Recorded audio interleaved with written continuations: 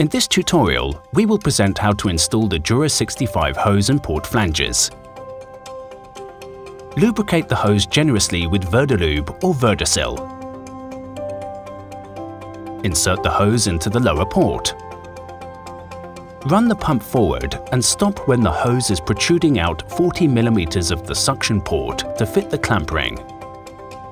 Insert the clamp ring over the hose with the large diameter towards the pump and ensure that the hose is protruding 5 to 10 mm past the clamp ring.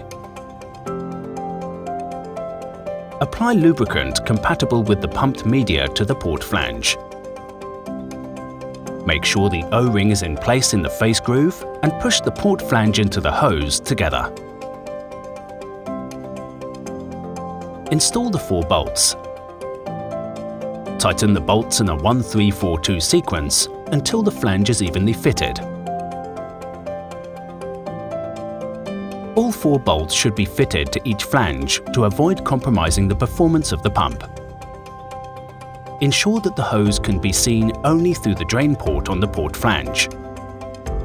Repeat the steps to complete assembly for the upper port flange. Fit the quarter turn flange connector to both ports please consult the Dura 65 operating manual for more detailed instructions if necessary.